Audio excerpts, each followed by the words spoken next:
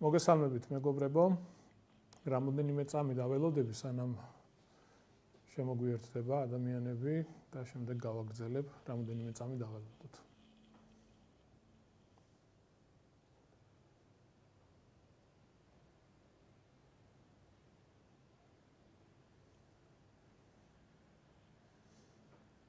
რამოდენიმე წამი და დავიწყებთ. კარგით, კიდევ ერთხელ მოგესალმებით და კიდევ ერთხელ მინდა ყველას მოგილოცოთ აღდგომის ბრწყინვალე დღესასწაული თქვენს ოჯახებთან, საყვარელ ადამიანებთან ერთად. მე დღევანდელი განცხადებით მინდა გამოვეხმაურო ქვეყანაში შექმნილ ვითარებას, არა მხოლოდ ჩვენთან ზოგადად მსოფლიოში და ყველა კარგად ხედავთ თუ რამდენად რთული ძიმე მდგომარეობა. აა ჩემო მეგობრებო, გუშინ, ესე იგი, გაგზელდა რიგი შეზღუდვები, რაც გათვალისწინებულია იმ მდგომარეობის შესანარჩუნებლად და გასაუმჯობესებლად, რაც ამ ეტაპზე ქვეყანაშია COVID-თან დაკავშირებით. ჩვენმა შეთანხმებულმა მოქმედებამ და ერთსულოვნებამ განაპირობა ის, რომ არ მოხდა ვირუსის უკონტროლო აფეთქება და ეს თითეული ექიმის, სხვადასხვა საჯარო სამსახურებში დასაქმებულების, თითეული каранტინის წესების შემსრულებელი მოქალაქის, ჩვეულებრივი რიგითი მოქალაქეების დამსახურება. მე ძალიან კარგად მესმის რამდენად დიდი ფსიქოლოგიური დისკომფორტია ეს ყველაფერი, მაგრამ მოდით, რომ სულ უნდა გვახსოვდეს რომ ამას პირველ რიგში საკუთარი თავის უსაფრთხოებისთვის ვიტანთ. საკუთარი ოჯახის წევრების უსაფრთხოებისთვის, ჩვენი შვილებისთვის, ჩვენი მშობლებისთვის, ბებიებისთვის, ბაბუებისთვის. ამიტომ უფრო მარტივად რო ვთქვათ და უფრო მარტივად ახსნადი რომ იყოს სასწორზე ბევრს ერთ მხარეს არის ჩვენი სიცოცხლე, ჩვენი ჯანმრთელობის უსაფრთხოება და მეორე მხარეს ის მოთმინება, რომელზეც ჩვენ გვიწევს საუბარი და რომელზეც ამ ბოლო დღეების განმავლობაში განსაკუთრებულ განსაკუთრებულ ყურადღებას უთმობ. აქვე მინდა აღვნიშნო ამ ძიმე კვირის მანძილზე გამოვლენილი ის უპასუხისმგებლო ქმედებები მეტით სამოქალაქო დანაშაულის შემთხვევები, როცა ზოგიერთი მოქალაქეთა ჯგუფები არა მარტო каранტინის წესებს არ ღვებდნენ, არამედ საფრთხეს უქმნიდნენ საკუთარ და სხვა ადამიანების ჯანმრთელობას, ხელს უშლიდნენ სამართალ დამცველების მუშაობა.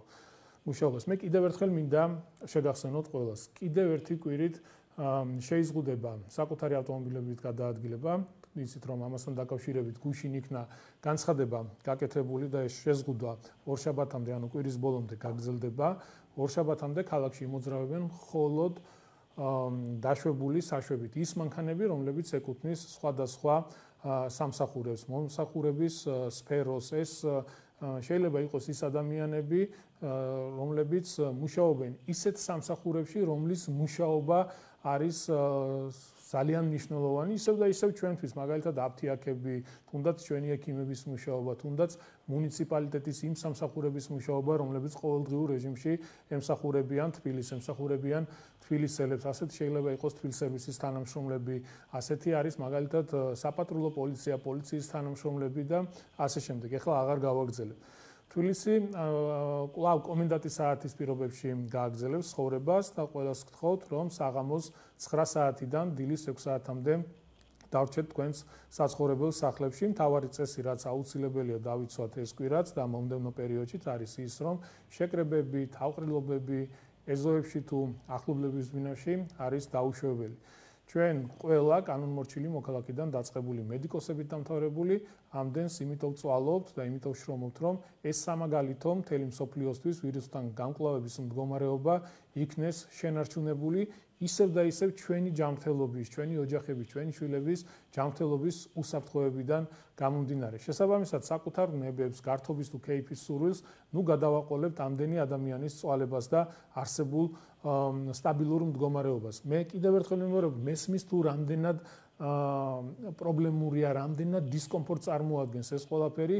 მე კიდევ ერთხელ მინდა ბოდიში მოგიხადოთ ყველას აბსოლუტურად ამ შექმნილი ვითარებიდან გამომდინარე, თუნდაც ის რომ საგანგებო მდგომარეობა იქნა შემოღებული. მე მესმის ეს არ არის პოპულარული ნაბიჯები, მაგრამ მერწმუნეთ რომ ეს არის აუცილებელი, ეს არის საჭირო. ეს არის მნიშვნელოვანი იმისთვის, რომ დავიცვათ ერთმანეთის ჯანმრთელობის უსაფრთხოება. მოუფრთხილდეთ ერთმანეთს, მოუფრთხილდეთ ჩვენს შვილებს, ჩვენს მშობლებს. შესაბამისად, გვიწევს ამ ზომების გატარება.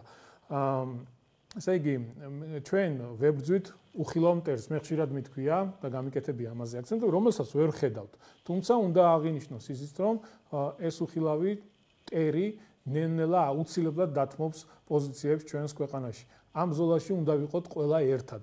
და ამისთვის არის საჭირო დავრჩეთ სახში ცოტაც გავიჭიროთ და საქართველოს აუცილებლად გამოიმარჯვოს ამ შეზღუდვებით რა თქმა უნდა სერიოზული დისკომფორტი გამოიწვია და განსაკუთრებით ძალიან ბევრი ზარი შემოდის ხელხაზე ეს ეხება განსაკუთრებით შემოერთებულ სოფლებს და ასევე არის სოფლები, რომლებიც ეკუთვნის მცხეთის მუნიციპალიტეტს, თუმცა ერთადერთი მისასვლელი გზა არის თბილისის გავლით. ნუ ზარი შემოდის იმასთან დაკავშირებით, რომ ამ კონკრეტულ სოფლებში არანაირი სასურსათო მაღაზიები არ არსებობს, არ არსებობს აფთიაქები, შესაბამისად გამგეობებს თბილისის მუნიციპალიტეტის გამგეობებს დავალებული აქვთ, რომ პირდაპირი კომუნიკაცია ამ სოფლებთან, ამ ოჯახებთან, რომ მაქსიმალურად დავეხმაროთ, გვერდში დაუდგეთ და მივცეთ მათ იმის შესაძლებლობა, რომ მოახდინონ გარკვეული დროის განმავლობაში გასვლა საკვები პროდუქტების თუ იმ პროდუქტების შეძენა, რაც მათთვის ძალიან მნიშვნელოვანი და აუცილებელია ამ მიმართულებით მათ ეკნებათ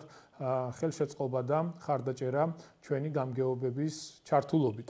კიდევ ერთი ასევე მნიშვნელოვანი თემა, რაც მინდოდა გამეჟღერებინა, თქვენ იცით რომ ესე იგი საკოორდინაციო საბჭომ გადაწყვეტილება რომელიც მიიღო თავრობის ჩართულობით ჩვენი ყოველას ჩართულობით ეს არის კომუნალურები კომუნალური გადასახადების გადახდა სამი თვის განმავლობაში როგორც ელექტროენერგიაზე ასევე ბუნებრივ აირზე ვინც ბუნებრივი აირის პირობებში 200 მეტრ კუბურ გაზზე ნაკლებს მოიხდის რა თქმა უნდა სახელმწიფო დაუფარავს ამ გადასახად სამი თვის განმავლობაში და ასევე 200 კილოვატ ელექტრო 200 კილოვატ საათ ელექტროენერგიის მოხმარების პირობებშიც ის იქნება ანაზღაურებული და ასევე მინდა გავაკეთო ერთი განცხადება, ესე იგი ეკონომიკური საქმიანობის შეზღუდვის გამო, ну ამ ვითარების გამო, რაც დღეს ქვეყანაშია და მთელ სოფლიოშია, ყველა ხედავთ ამას, ცხადია ძალიან დიდმა ნაწილმა მეწარმეების შეაჩერა თავიანთი საქმიანობა და ვერ ახერხებენ მუშაობის გაგრძელებას.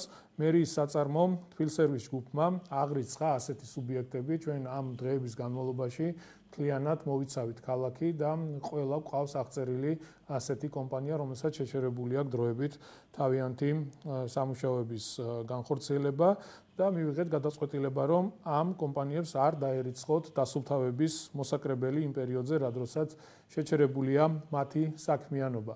ვფიქრობ, რომ ესეც ძალიან მნიშვნელოვანი კომპონენტია და ხელშეუწყობს ამ ბიზნეს კომპანიებს და იმ ბიზნეს სექტორს, რომელსაც გარკვეული პრობლემები შეექმნათ და ისინი ვერ ახორციელებენ თავიანთ საქმიანობის გაგრძელებას. გარდა ამისა, გუშინ გაკეთებული იქნა განცხადება, რომ პარასკევს წარმოქმნილი იქნება მთავრობის მიერ, საკოორდინაციო ჯგუფის მიერ ის სოციალური პაკეტი, რომელზეც ჩვენ დიდი ხანია ვმუშაობთ, ამაში ჩართულია სხვადასხვა საერთაშორისო საფინანსო ორგანიზაციები და ყველაფერი იქნება გაჟღერებული და მიწოდებული საზოგადოებისთვის თუ რა დახმარებები იქნება გაკეთებული მომდენო თვეების განმავლობაში. ჩვენ როდესაც ესე იგი ვართ ამ მდგომარეობაში, გაჩერებულია ყველაფერი, არ მოძრაობს საზოგადოებრივი ტრანსპორტი, არ მოძრაობს კერძო ავტომობილები, რა თქმა უნდა, ამ ყველაფერმა ძალიან დიდი გავლენა იქონია არსებულ ეკოლოგიურ მდგომარეობაზე და ამასთან დაკავშირებითაც მინდა მოგაწოდოთ ინფორმაცია. ესე იგი, ბოლო პერიოდის განმავლობაში დედაქალაქში, ისევე როგორც საქართველოს მთელ ტერიტორიაზე, ატმოსფერული ჰაერის დაბინძურების მაჩვენებელი არის ძალიან კვეთრად შემცირებული და რა თქმა უნდა, ეს ყველაფერი განპირობებულია იმით, რომ შემცირებულია ტრანსპორტის გადაადგილება, არ მუშაობს საზოგადოებრივი ტრანსპორტი და ზოგადად აქტივობები არის დაბალი. მე ვფიქრობ, რომ ეს მონაცემები, რომელიც დღეს ჩვენ გვაქვს, არის მნიშვნელოვანი. თქვენ იცით, რომ ქალაქის სხვადასხვა რაიონებში, სხვადასხვა ცენტრალურ ქუჩაზე განთავსებულია სპეციალური სტაციონარები, რომლებიც ზომავს ჰაერში დაბინძურების ინდექს, დაბინძურების მაჩვენებელს და ესე იგი აღნიშნული მაჩვენებლები არის მკვეთრად განსხვავებული. ჩვენ თუ შევადარებთ 2019 წლის მარტის მაჩვენებელს 2020 წლის მაჩვენებელთან არის ძალიან დიდი სხვაობა და განსაკუთრებით ჰაერში აზოტის დიოქსიდის შემცველობა არის შემცირებული, რომელიც რა თქმა უნდა პრობლემური იყო. მე თქვენ გაჩვენებთ ახლა მონაცემებს, მე ვფიქრობ გამოჩნდება. და ეს ლურჯად რაც არის წარმოქმნილი, ეს არის მაგალითად წერეთლის გამზირი, წერტლის გამზირზე ჩვენ განთავსებული გვაქვს ასეთი სტაციონარი.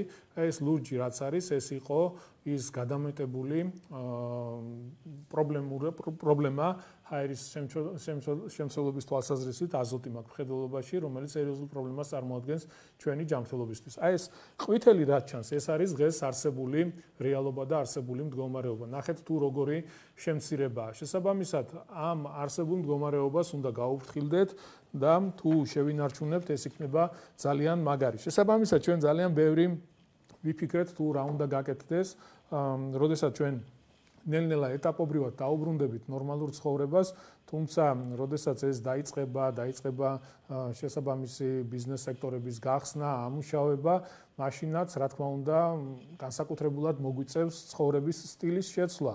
როგორც აქამდე იყო, ვფიქრობ, გართულდება ცხოვრების გაგრძელება, იმიტომ რომ აუცილებელი იქნება ყველა იმ მოთხოვნის შესრულება, რომელზეც ჩვენ ვსაუბრობთ, თუნდაც პირბადეების ტარება, ხელების ხშირი დაბანა და ის მოთხოვნები, მოთხოვნები და ასევე რჩევები, რომელიც ისმის შესაბამისი სამსახურების მხრიდან, დარგის სპეციალისტებისა და პროფესიონალების მხრიდან ეს მომავალშიც მოგვიწევს ამ ყველაფრის შენარჩუნება.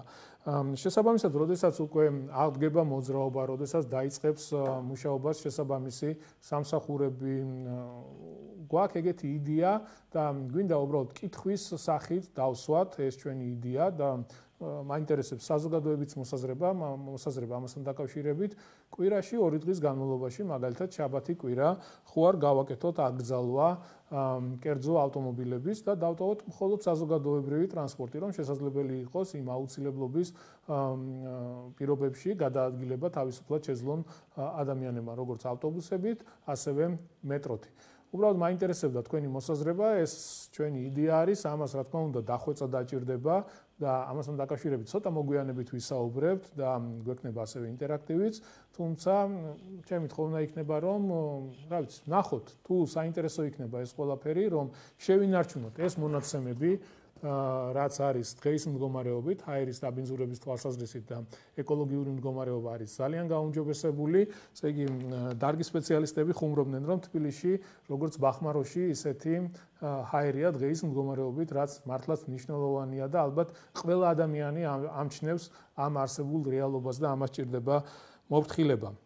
ასე რომ ჩვენი ინიციატივა უფრო სწორად წინადადება და ეს იქნება განხილვადი მომდენო დღეების განმავლობაში, როდესაც უკვე დავიწყებთ ნორმალურ ცხოვრებას და დავიწყებთ მუშაობას, ხო არ გავაკეთოთ ორი დღის განმავლობაში აკრძალვა კერძო ავტომობილების შაბათი კვირა მაგალითად და ამას რა თქმა უნდა მე დახვეწა დაჭirdება რაღაცების გათვალისწინება მოგვიწევს ისე რომ პრობლემა არ შევქმნათ.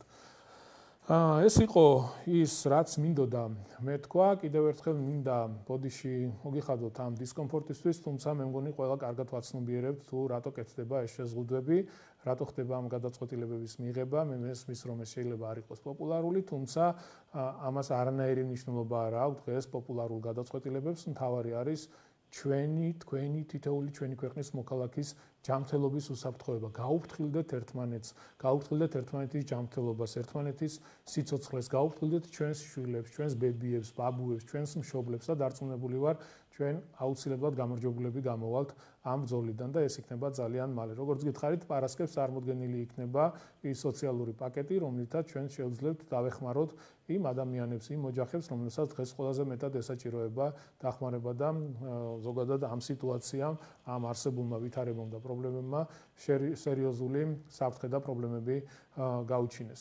მე მინდა ყველას ჯანმრთელობა გისურვოთ, ყველას გამძლეობა გისურვოთ და დარწმუნებული ვარ, რომ ჩვენ თუ დავიცავთ ყველა იმ წესებს, დავრჩებით სახლში, გაუფრთხილდებით ერთმანეთს, აუცილებლად ძალიან სწრაფად გამოვალთ ამ რთული მდგომარეობიდან და ეტაპობრივად დავიწყებთ ჩვენი საქმიანობების გაგრძელებას სხვადასხვა მიმართულებით. კიდევ ერთხელ ძალიან დიდი მადლობა მინდა გისურვოთ ყველას და რაც თავარია, მინდა გისურვოთ ჯანმრთელობა. გაუფრთხილდეთ ერთმანეთს და დარჩით სახლში. ახლა კი გემშვიდობებით. აბა დროებით.